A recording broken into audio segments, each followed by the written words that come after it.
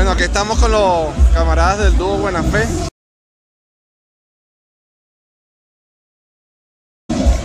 Eh, bueno, saber primero cómo ha sido la receptividad de, bueno, fundamentalmente su nuevo disco, porque ya no es la primera vez que nos visitan en Venezuela. Y bueno, también saber en qué partes han participado y cómo se ha sentido eh, ver un nuevo esfuerzo crecer como ha sido la juventud del PSUV. Ustedes venían antes y venían invitados por el Frente Francisco de Miranda y todo, pero bueno, ya todas esas organizaciones nos comenzamos a aglutinar en un esfuerzo organizativo propio que es la juventud del PSUV. Creo que, ha sido un disco muy bien acogido, muy bien recibido, estamos muy contentos con eso. Por lo otro que tú nos preguntas, yo pienso que, mira, se nota así, eso sí, una mayor organización, una mayor cohesión por parte de la juventud con respecto a, veces anteriores que hemos estado.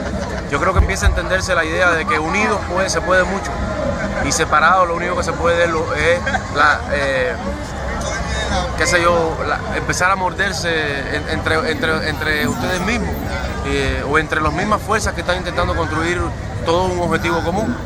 Eh, y empezar a tratar de buscar cuotas de poder y cosas que siempre trae la desunión, siempre viene preñada de todo eso.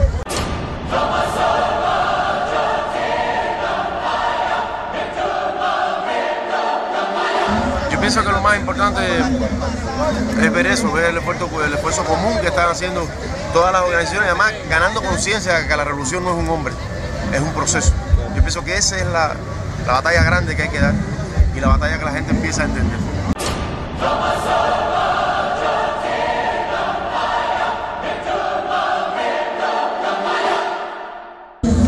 Terminar un mensaje ahí de, los camaradas de Buena Fe, porque ya van para las tablas.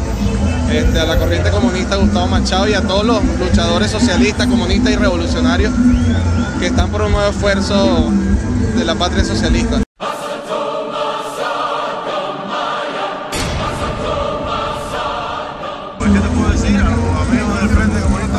Todo un abrazo, que sigan divulgando el ideal socialista entre la gente que, todavía tiene dudas de que, de que esa ideología puede ser eh, esa, ideología en manos de la gente necesaria, de la gente útil, puede ser eh, una herramienta poderosa para la transformación social y una herramienta también poderosa para el crecimiento espiritual.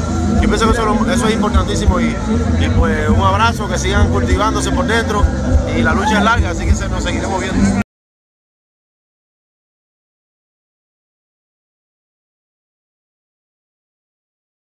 Patria o muerte.